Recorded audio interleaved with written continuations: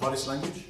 Um, Finnish? At the beginning, so Russia wasn't too easy because there are so many exceptions. The first very hard language that I learned was Turkish. For me personally, I found Georgian quite challenging. Japanese, without a doubt. For me, Hungarian for pronunciation is quite hard. Hardest language, definitely for me, Russian. I'm sure that there might be something more difficult. For everyone, it's slightly different. For me, it was Mandarin Chinese. Hardest language? Uh, Polish. Hindi is quite challenging, but quite but real fun. I thought that uh, it was the hardest language really for me, but uh, after I started learning Chinese, I understood that Turkish was not so bad. And why? The cases, perfective, imperfective verbs. Um, words are long. You need to learn another alphabet as well, but I don't think the Cyrillic alphabet is that difficult.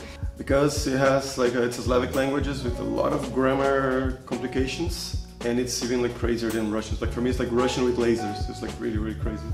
Because you have to change in the same word, i, uh, in the same word, and it really means something different. For example, and not only these two vowels, there are 13 vowels.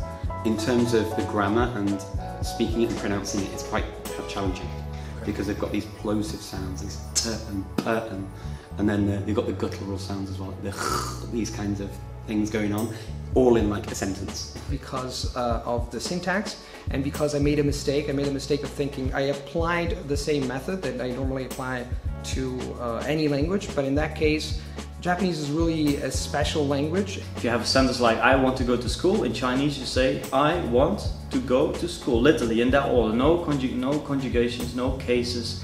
Of course, you need to make sure that you get the tones and the pronunciation right. By the Russian, okay, you say I, then want, you need to conjugate want, to, you also have that in Russian, and then school, oh no, sorry, I want to go to school, right? So then you have to go, you need to know which to go you're gonna use. Are you only going once? Uh, are you going and you come back? Are you going by car? You, like they have very specific word, words. 15 cases, uh, a lot of dialects, um, crazy crazy grammar, uh, consonant gradation, vowel harmony and so on.